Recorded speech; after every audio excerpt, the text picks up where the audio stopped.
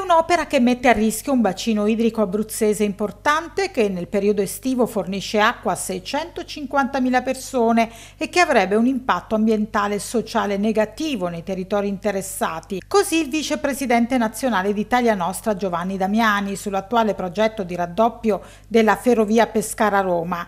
L'associazione, come hanno ribadito anche il presidente e il vicepresidente regionale Pierluigi Vinciguerra e Paola Di Felice e il presidente della sezione di Pescara Massimo Palladini, pur essendo favorevole alla riqualificazione della tratta ferroviaria, esprime fermo dissenso sul tracciato previsto nel progetto di prefattibilità che prevede due gallerie da Scafa a Prato La Peligna all'interno del massiccio del Monte Morrone. Italia Nostra avvia pertanto una battaglia a livello nazionale e presenta un dossier. Il tracciato di prefattibilità che abbiamo visto va ad attraversare trasversalmente il flusso idrico del Monte Morrone.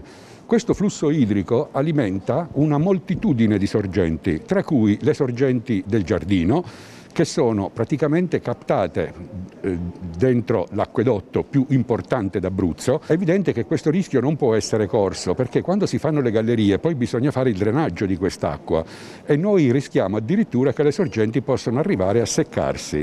È successo per esempio per le gallerie ferroviarie del Mugello anche volendo dire quest'acqua la possiamo recuperare, come è successo per il traforo del Gran Sasso, sappiamo che diventano acque insicure, che periodicamente possono essere soggette a inquinamenti. Costerà almeno 970 milioni di euro, dove stanno i benefici.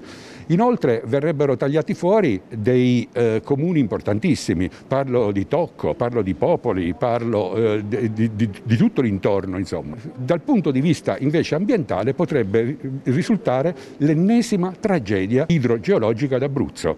Eh, questo Abruzzo che già eh, un, secolo e mezzo fa ha visto prosciugare il terzo lago più importante, il Fucino. Poi una tragedia dentro al Gran Sasso dove hanno abbassato con i trafori il livello della falda di 600 metri. Adesso c'è rimasto il Morrone che invece eh, serve eh, qualcosa, almeno diciamo, eh, tutta la Val Pescara, ma anche Bucchianico, Francavilla, Montesilvano. Siccome gli, gli acquedotti sono interconnessi, si arriva fino ad Atri, ecco, tutto questo non può essere assolutamente trascurato.